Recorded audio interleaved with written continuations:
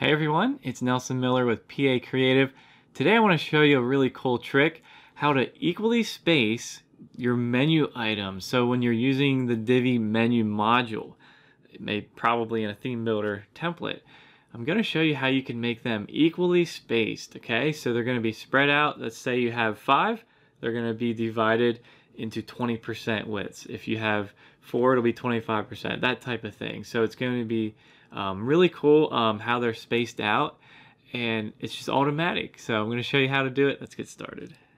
All right, so let's get started here and make our menu items equally spaced. So this is another one in our Divi menu module series. We have, I think, over 25 tutorials in this series. So go check that out if you're interested. And by the way, all the snippets and things like that are over here on the blog post. So if you're watching this on YouTube, click the link in the description. All right, so this is for the menu module. And I'm not even doing this for the main default header menu anymore because I I'm just I don't like using that anymore. I think by now we should all be starting to use the theme builder and the menu module. So I'm just doing this for the menu module. All right, so the first thing, we need to add a CSS class to our menu module. And I have that right here. And it's going to be either, it's going to, it's going to depend actually if you have the logo image or not. So right here you can see PA menu without logo. So I'll show you that. So over here I have a menu with a logo and a menu without a logo. So I just copied the class without. So I'm going to put that in. All right. So there we go. This is this bottom one here. PA menu without logo. And what I mean by the logo, you know, in the module, you can see that you can actually set a logo. So that's right here in menu settings, logo right here. This one has an image set there and this one does not. And it's actually pretty important because it actually adjusts different things in the in the module in the structure of the module. It changes it when you add the logo. So the next thing is to make sure the menu text is set to this justified option here. I'll show you that. So go over here again to the menu module, design tab, menu text, and down here, right here, this one here, it doesn't say anything, but I think that means justified. All right. And so right there, you can see that it moved. And yeah, it's, you know, they're, they're justified, but they're not equally spaced. Okay. But we need that turned on. Okay.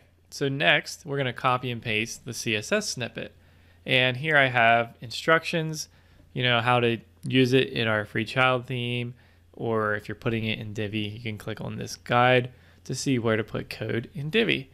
And so here's the code for the one without a logo. So I'm going to copy it and then we can kind of look at what it's doing. Go ahead and copy that. All right, and like I always do in the tutorials, I'm going to put it in my page settings here, the advanced tab, custom CSS. All right, so I'm going to just paste that here. All right, and you can see some things happened. Um, first of all, I added a slight background color and I also spaced out the menu items. That's exactly what we want to do. All right, so let's see. I'm going to do something I never do. Dock this thing. Boy, I did not like it docked at all. All right, so here we go. The very first thing that we're doing is is we're saying here to equally space the menu items, we're going to say the width of our list items. One, two, three. The width of these is 100% divided by 3. Now, if you had 4 or 5 or 6 or 2 or whatever, you'd want to put that number right there. So we're just saying 100% of all of these divided by however many. All right, it makes sense, right? The next thing here is just some styling for the link. You can see it ends in A. Anytime it ends in A, it's the link itself. So we're making the link 100% wide so that it fills the entire list item. I know that can sound strange, but um, and then we're centering it. All right, those are the two essential things. And then here you can adjust the padding, the background color, and the border. You're going to probably want to adjust those. All right, the next item here is just removing padding that's there by default on the list items, by default, there's like 11 pixels on each side. So we're just removing that in that snippet. And um, the last part of the snippet here, this one here, that's just there for when we have a drop down like this here. You can see there's a little icon on any menu items that have a drop down. And that's actually just positioning that, and that's important. So there you go. There's four little snippets, the width, and then some styling of the link, and then removing that default padding, and then positioning the icon. And there you go. You're completely done with the one where you're not using the logo.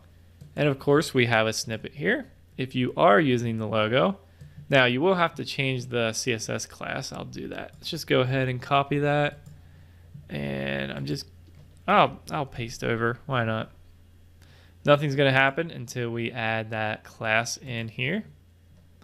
Okay, let's go into the menu module, advanced tab, CSS class, and see if I can remember what it was. PA menu with logo.